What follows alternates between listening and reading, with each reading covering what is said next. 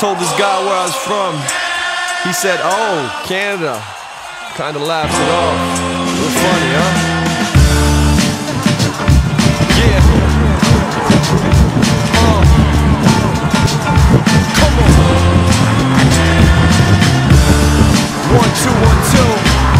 Check, one, two, one, two. Yeah.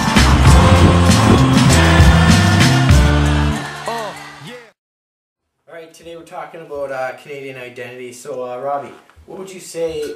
What uh, country would you say is most like Canada, I'd say Australia. and why is that?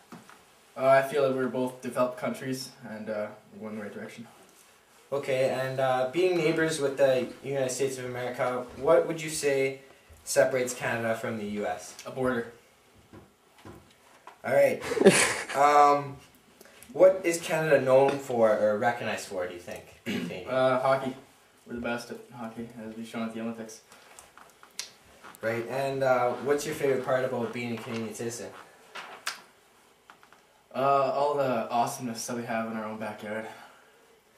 Okay. Um, just a little trivia for you. What is the capital of Prince Edward Island? Charlottetown? That's right. And um, what is when did Canada become a country? 1867. That's right too. And see if you can get the last one. What is Canada's national animal? A uh, moose. A moose? No, it's a beaver. I'm Ah. sorry. Frick. Can't say that. And um, so like being Canadian, what do you when you walking out uh, down the streets? Do you like acknowledge people, say hi? Uh, some people, yeah, but there's some people I just don't know, so I stay away from, and they look kind of scary. All right, thanks, Robbie. Alright, thanks for doing this. We're talking about Canadian identity again, and uh, Mitch, what country would you say is uh, most comparable to Canada? Uh, I'd say the uh, United States. You know, they got uh, people there. They play hockey, pretty much the same as Canada. All right, that leads me to my next question. What separates Canada from the U.S.? It's quite obvious. One man, Sid the Kid, Sidney Crosby. Right, you are. And uh, what is Canada most recognized for? I'm gonna say hockey, obviously. You know, Sid the Kid goes five cheese there on Miller time there, and we get the Olympic gold. Simple as that. Um, what would you say is Canada like? Like we're supposed to be friendly and all. So when you walk down the street, do you acknowledge people and say hi or give them a smile or what? Not a chance. If you smile, people think, hey, maybe he'll give me some cash. You ain't getting any money from this guy. All right, and uh, a little trivia for you. What is the capital of Prince Edward Island? Saskatchewan. That's actually wrong. It's Charlottetown. Um, um, Mitch, what does RCMP stand for? Radio controlled miniature airplanes.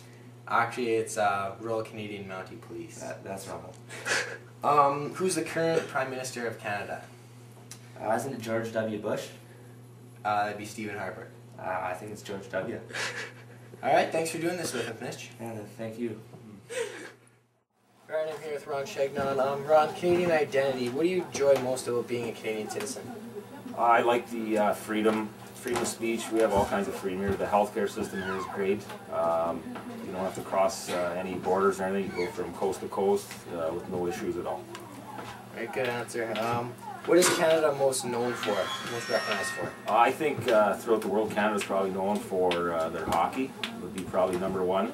Uh, I think uh, our Canadian beer is uh, big as well uh, across the world. All right, and a little trivia. Um, what is the capital of Prince Edward Island? Uh, the capital, Prince Edward Island. I should know this because my son actually goes to school at the University of Prince Edward Island, and that would be Charlottetown. That's right. Thanks, Ron.